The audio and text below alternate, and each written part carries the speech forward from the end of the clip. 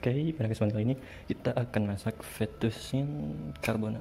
Ada keju, telur, fettuccine, susu, bumbu-bumbu lainnya. Sip pertama, kita hidupin kompor. Wow, ya greget ya. Iya emang begitu. Eh, kita oke. Tidak mau satu. Kenapa begini? Ah, udah amat. Pertama susu aja.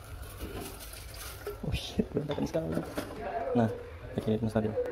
Sip. Udah masak susu. Sip. Sip. Sip. Sip. Tambah keju sedikit. Nah. Oke. Sip. Sip. Si fettuccine. Oh, sangat tidak higienis. Sebenarnya nunggu ini ya, nunggu menggelegar ya. Nah, ini dia. Kayaknya terlalu sedikit deh. Tambahin dikit lagi. Dah. Oke, kita masukin ke jebret. Jebret, jebret, jebret. Kayaknya kurang. Ini zur zur zur. Ya ada lagi. Karena sudah menggelegek, langsung kita masukin aja. Matiin, kita pindahin.